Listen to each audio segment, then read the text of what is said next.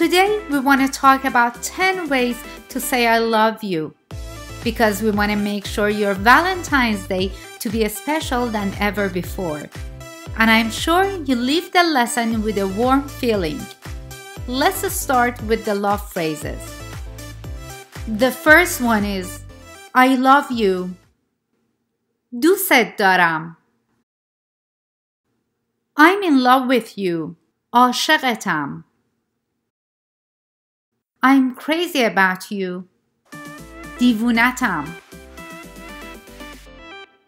I have a crush on you. ازت خوشم میاد. You are my everything. همه چیز من هستی. I'm falling for you. دارم عاشقت میشم. I've got feelings for you. من بهت علاقه دارم. I'm head over heels in love with you.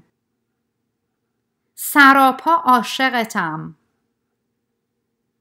I love you from the bottom of my heart. من از ته دل دوستت دارم. I adore you. من بهت عشق میورزم.